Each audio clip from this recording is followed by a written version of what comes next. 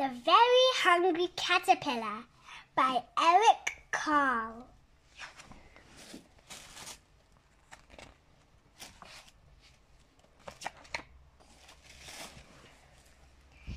In the light of the moon, a little egg lay on a leaf.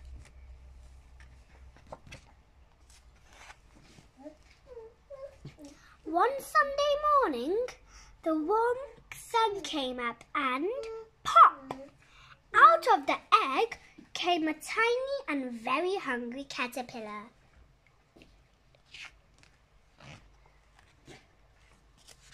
He started to look some for he started to look for some food. On Monday, he ate through one apple, but he was still hungry. On Tuesday, he ate through two pears, but he was still hungry. On Wednesday, he ate through three plums, but he was still hungry.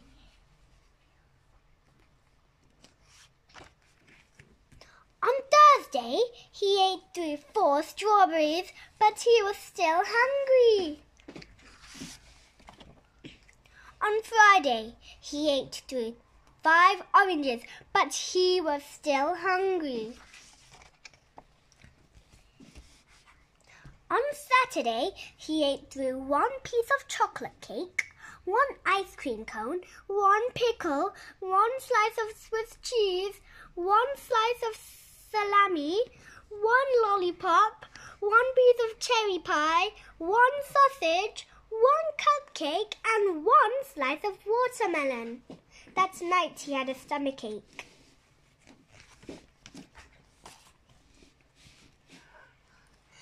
The next day was Sunday again. The caterpillar ate through one nice green leaf, and after that he felt much better.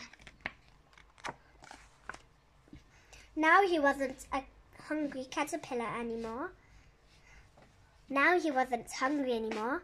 He and he wasn't a little caterpillar anymore. He was a big, fat caterpillar. He built a small house called a cocoon around himself. He stayed inside for more than two weeks. Then he nibbled a hole in the cocoon, pushed his way out, and he was a beautiful butterfly.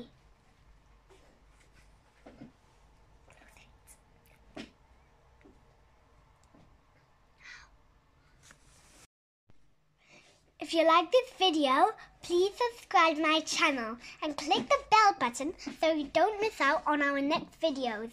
Bye!